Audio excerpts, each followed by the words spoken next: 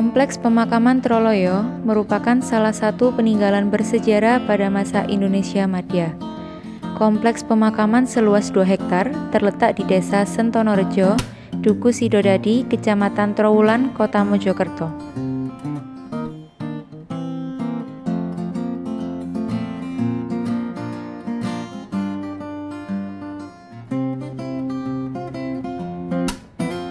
Saat memasuki kompleks pemakaman Troloyo, kami disambut dengan sepasang gapura berwarna merah yang kokoh.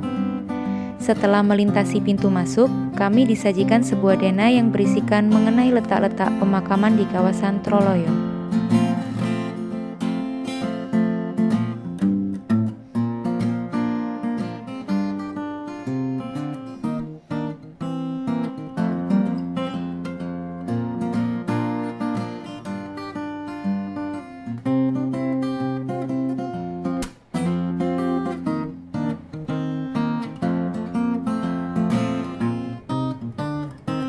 Seusai mengamati Dena, kami langsung berangkat menuju lokasi makam Sunan Ngudung. Ketika perjalanan menuju lokasi Sunan Ngudung, kami melintasi pohon beringin. Bersebelahan dengan pohon beringin terdapat pertilasan Wali Songo. Pertilasan Wali Songo merupakan tempat yang dulunya pernah disinggahi oleh para wali.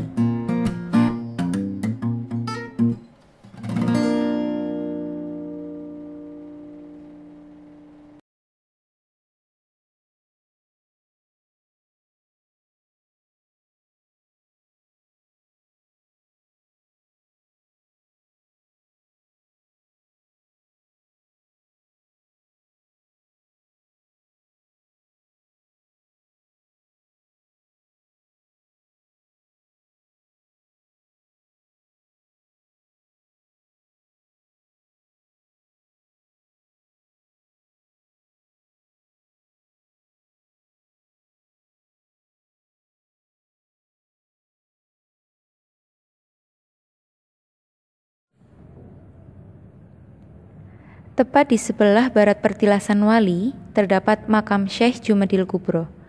Syekh Jumadil Kubro merupakan ayah sekaligus guru dari para wali Allah. Situs pemakaman ini merupakan situs utama dan terbesar di Kompleks Troloyo. Tiap situs yang terdapat pada Kompleks Troloyo dihubungkan oleh jalan khusus dan lorong-lorong.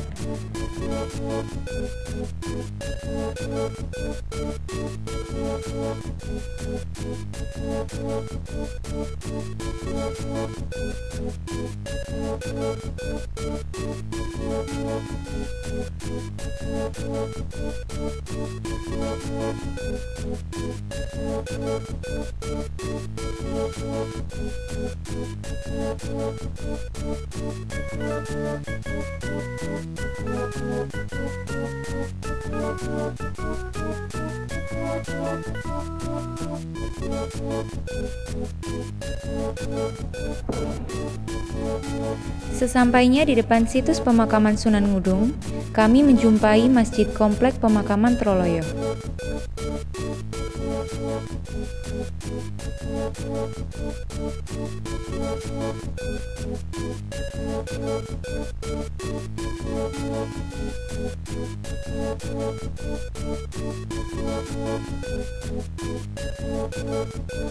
Thank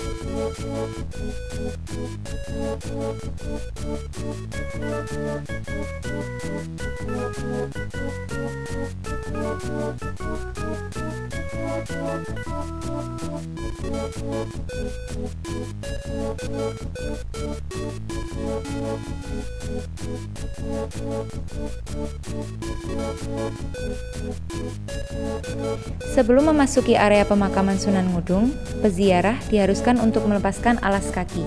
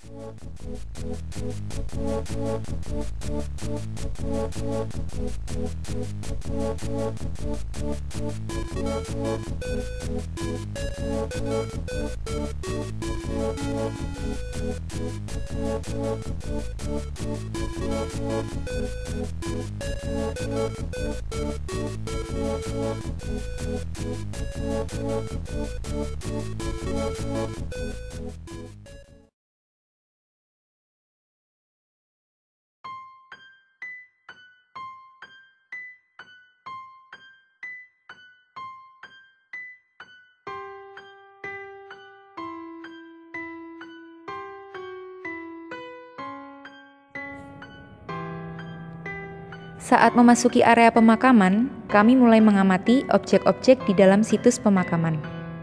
Di dalam kompleks tersebut terdapat tiga makam. Yang pertama adalah makam Sunan Ngudung yang terletak di tengah dan posisinya lebih tinggi daripada dua makam lainnya.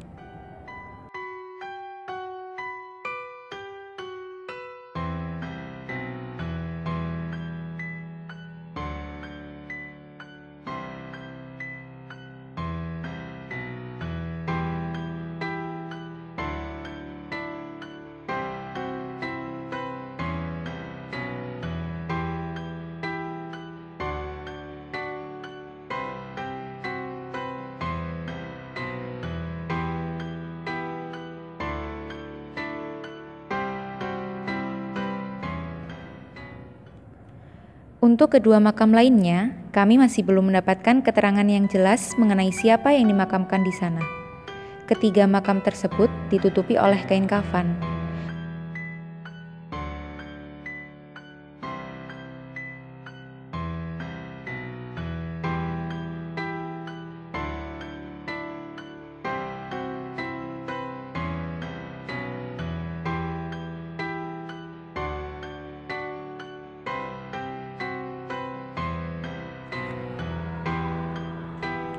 Filosofi dari makam yang panjang ini adalah wujud apresiasi masyarakat terhadap jasa Sunan Ngudung yang telah menyiarkan Islam di wilayah Majapahit dalam kurun waktu yang cukup panjang.